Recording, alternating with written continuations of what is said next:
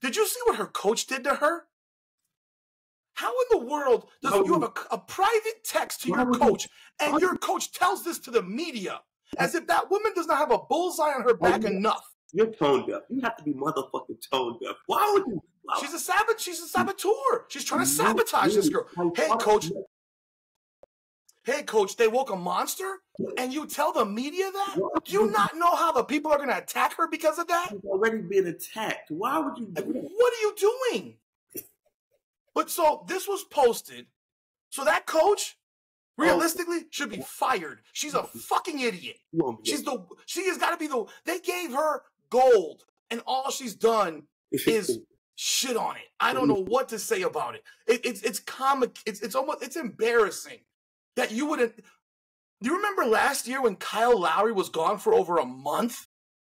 We Do we have any idea what the hell was going? What happened? we still don't know to this We day. still don't know. Till this day.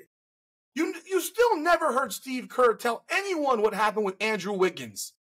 To You this still don't know what happens with these guys because these coaches are not stupid. They're not sharing personal shit. They're not sharing text between you and the player. maybe, but you have this brain dead, tone deaf coach. maybe 10 years, 15 years later, 20 No, the same day. I'm gonna go tell everybody that Caitlin said, "Hey, coach, they woke a monster." Well, guess what? This is like the Kyrie Irving thing. Did they poke the bear? Why would you do that? Is is, is, is Caitlin Clark all of a sudden gonna play better because she didn't make the team? Why would you Or do maybe that? are you gonna give her 25 shots a game and not 13.2? Why would you do that? Thank you for watching Come On Now, the podcast.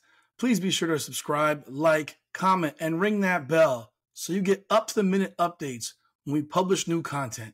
You can also find us on Facebook and Instagram at Come On Now Podcast and X and TikTok at Come On Now Pod. Thank you again for supporting this channel.